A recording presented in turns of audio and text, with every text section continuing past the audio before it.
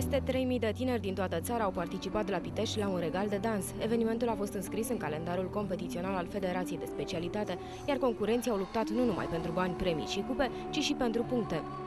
S-au întrecut uh, o grămadă de copii, adulți, de la 36 ani până, v-am spus, peste 35 de ani. Uh, Avem competiții de dansuri sportive, dansuri moderne, tango argentinian, salsa. Participanții au reprezentat cele mai bune școli și trupă de dans din România. În cadrul competiției naționale au avut loc peste 50 de evoluții de dans pe diverse categorii de vârstă și stiluri.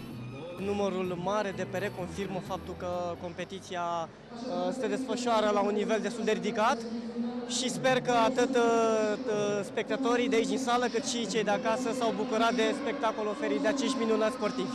Este semn că dansul sportiv este în creștere, este foarte bine pentru lumea noastră, copiii să, fac, să practice dansul sportiv, să vină la asemenea competiții. Cea de-a șasea ediție a Cupei Argesis s-a desfășurat sub patronajul Federației Române de Dans Sportiv.